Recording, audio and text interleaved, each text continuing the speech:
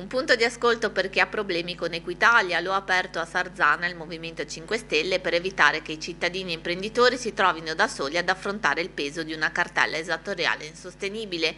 Non sarà l'unico, annunciano i consiglieri regionali pentastellati.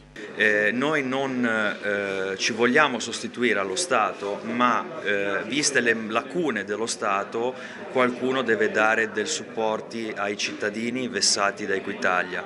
nel caso specifico specifico di ieri, eh, da quanto si è appreso, praticamente qua ci sono anche proprio degli errori di forma degli studi di settore, perché se negli ultimi cinque anni la crisi eh, continua a galoppare e uno, una persona che è in proprio non riesce più ad avere determinate entrate, gli studi di settore vanno rivisti perché eh, una persona non deve arrivare a questi punti. Allora, a Sarzana perché a Sarzana abbiamo avuto una situazione diciamo eh, idilliaca perché oltre agli attivisti, al consigliere comunale e regionale avevamo anche eh, gli esperti in materia, cioè un commercialista e un avvocato.